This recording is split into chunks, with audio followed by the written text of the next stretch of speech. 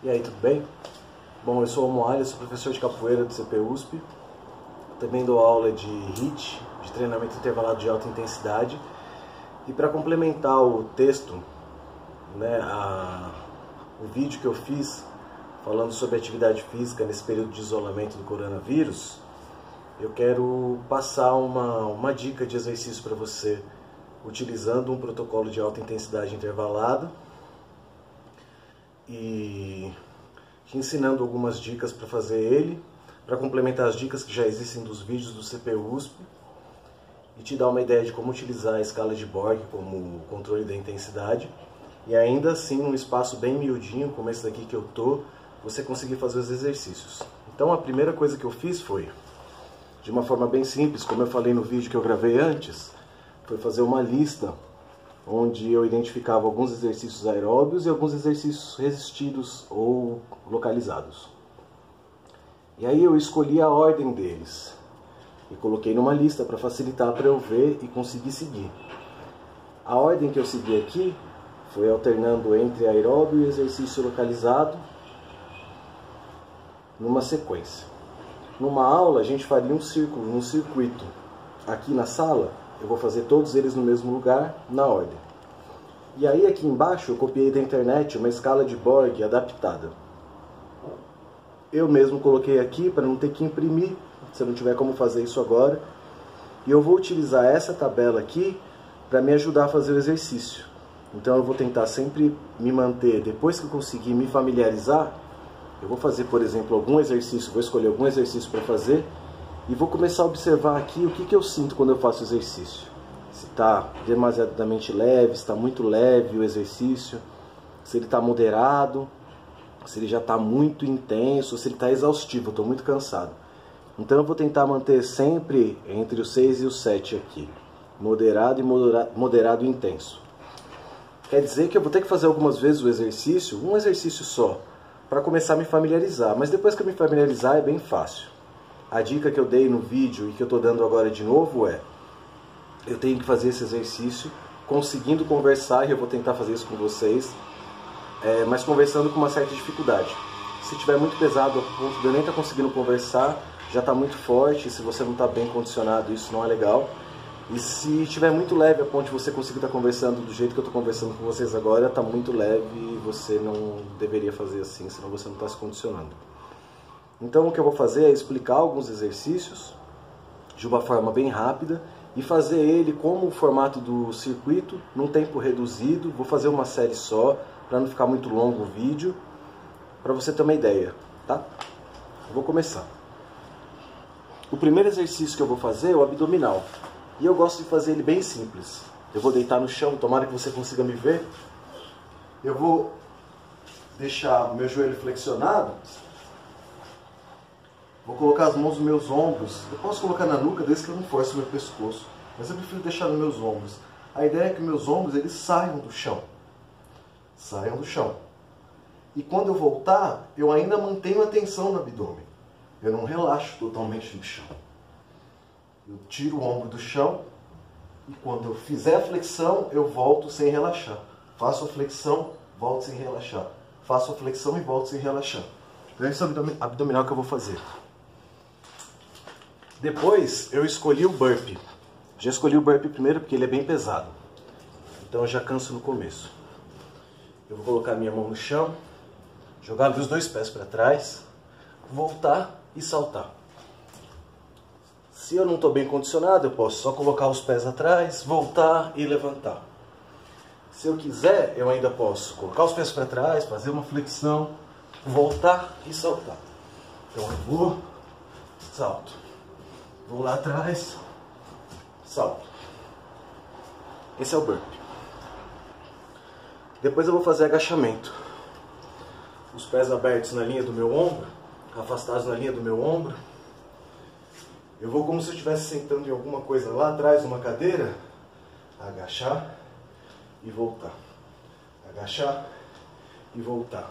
Eu vou tão baixo quanto a minha flexibilidade permita e tão baixo quanto eu consiga fazer. Então eu posso ir mais baixo se eu quiser, ou um pouco mais alto se eu ainda não conseguir descer tanto. Esse é o agachamento. O próximo exercício é um polichinelo, coisa mais simples. Num espaço pequeno dá para fazer bem. Que é afastar e voltar. Afastar e voltar. Eu vou tentando enquadrar conforme eu vou fazendo. Estou virando um artista. O próximo é flexão de cotovelo. Então eu vou começar deitado, ou melhor, nessa posição que é quase uma prancha. As minhas mãos embaixo do meu peitoral embaixo dele. Meu corpo todo firme. Eu vou tentar descer e subir. Descer e subir. Se tiver difícil, eu não tiver costume de fazer isso, então eu posso colocar meu joelho no chão para me apoiar. Então eu faço a mesma posição.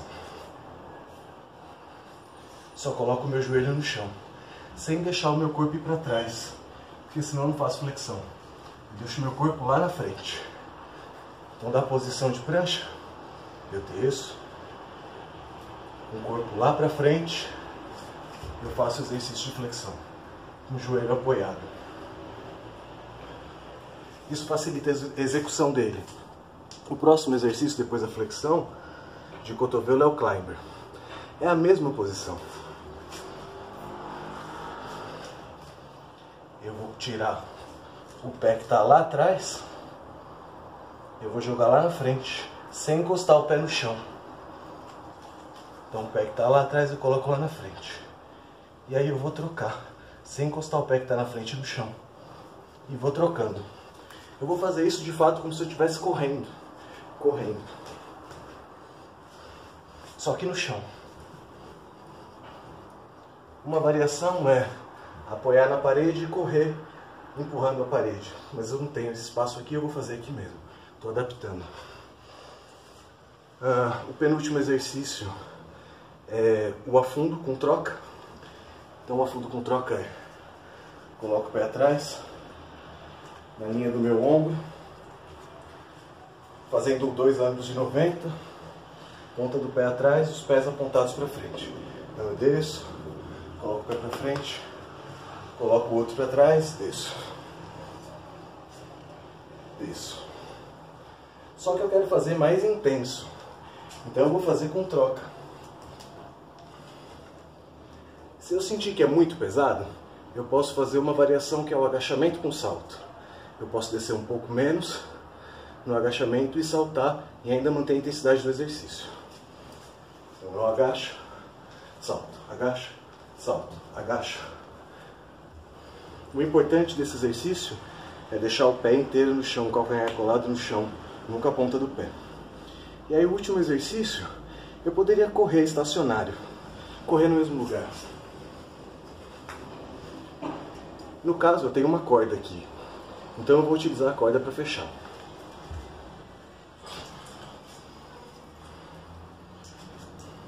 E vou pular mais rápido possível. Se cortar minha cabeça, não liga não, é porque o espaço de fato é bem pequenininho.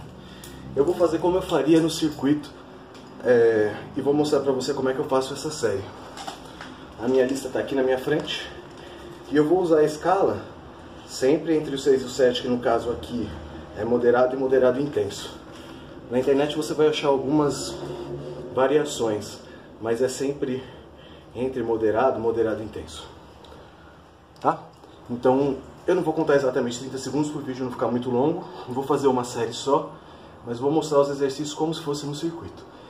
Então eu vou fazer o que? 30 segundos cada exercício sem intervalo, sem descanso. Vou fazer um, o outro, o outro, o outro, os oito. Eu escolhi oito nesse protocolo. Estou fazendo de fato sem tênis, estou fazendo bem à vontade porque eu estou em casa. Depois de terminar todos, acabou uma série. Eu posso fazer mais uma, mais uma e mais uma. Geralmente entre duas e quatro está legal, dependendo do seu condicionamento físico. Entre as séries, você descansa entre um minuto e um minuto e meio, um minuto e meio. Ainda mais for bem intenso. Então eu vou começar. Vou começar pelo abdominal. Então você tem um cronômetro, seu próprio celular, marca 30 segundos, faz o abdominal.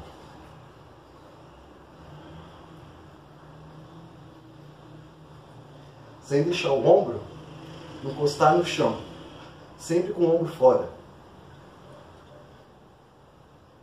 Tenta manter o abdômen contraído e o pé colado no chão. Eu posso levantar meu pé se eu quiser modificar e variar. Acabou os 30 segundos, eu vou direto para o próximo exercício, que agora é o burp. Então eu vou fazer a primeira variação, a mais simples. Coloco minha mão no chão, jogo meu pé para trás, levanto. Se ficar fácil, eu salto.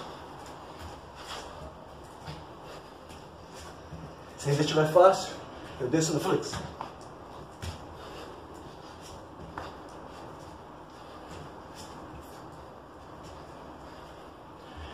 Terminados os 30 segundos, vou direto para o próximo.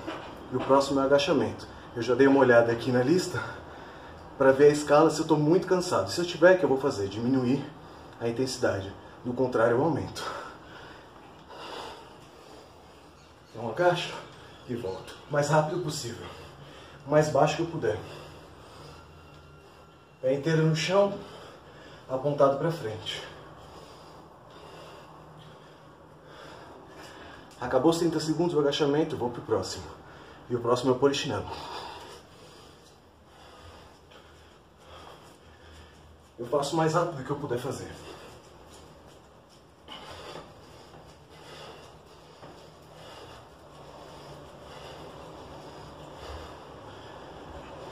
Terminou os 30 segundos do polichinelo, vou pro próximo, sempre olhando a tabela e vendo se eu tô conseguindo conversar do jeito que eu tô conversando agora, mas com uma dificuldade. E o próximo é a flexão de cotovelo. Não estou na posição, posso ou não colocar meu joelho no chão para me ajudar. Posso manter ele fora. O abdômen sempre contraído e o corpo sempre firme. A mão sempre embaixo do peitoral.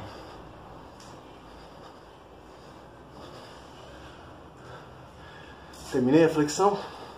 30 segundos, olho a tabela, vejo se está entre moderado, moderado intenso, começando a cansar, mas ainda conseguindo conversar. Eu vou pro climber. Correndo.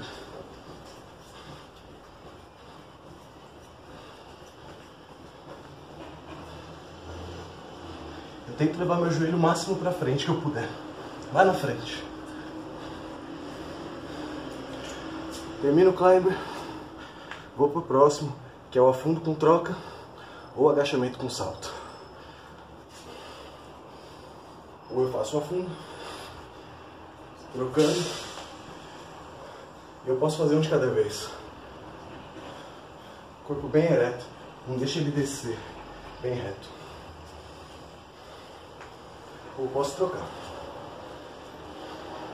Só a ponta do pé atrás pés apontados para frente. Ou posso agachar e saltar. Baixinho, salto. Direto.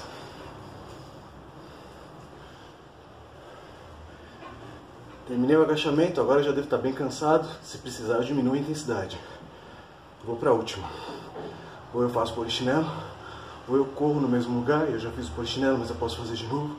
Ou eu corro no mesmo lugar, ou eu uso a corda se eu tiver. Então eu posso repetir. Eu posso correr com o joelho bem alto.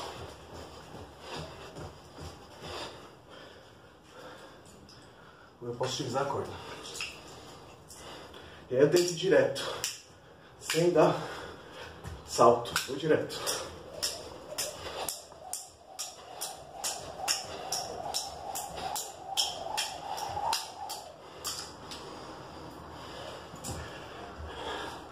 É isso.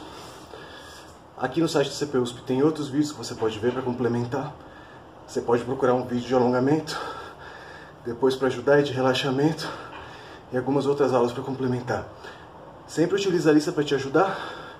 Faz direto, agora eu descansaria um minuto e meio. Faria outra série todinha completa de novo, entre duas e quatro. Usa sempre a escala para você controlar a intensidade e não, não fazer muito intenso, porque muito exercício é tão perigoso quanto exercício nenhum. Tchau, até mais.